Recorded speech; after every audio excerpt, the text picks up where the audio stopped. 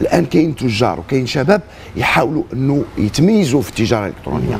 في جهه أخرى كاين ناس مهمتها انه نصب الاحتيال واستعمال التجاره الالكترونيه من أجل الايقاع بالمستهلكين. وصلنا في الجزائر انه ناس عن طريق التجاره الالكترونيه يقول لك صور لي البطاقه الذهبيه تاعك يقول لك اعطيني الكود تاع البطاقه الذهبيه يقول لك اعطيني واحد ال SMS يجيك كود اعطيه لي. تعرف واش دار؟ استولى لك على الحساب تاعك ودار لك دراهمك ولكن للأسف مازال المستهلك الجزائري. يامن مازال المستهلك الجزائري عادي تقول له صور لي البطاقة الذهبية يعطيها لك. هذا هو دورنا. أنه نوعيو ويعني okay. مشكورين حتى الإعلام دوره أنه المستهلك نوصلوا له رساله okay. كاين أمور ما تستخفش بها. كاين أمور كن حذر فيها لأنه مثل ما كاين التاجر الحقيقي والنزيه كاين ناس تمتهن نصب الاحتيال على المستهلك.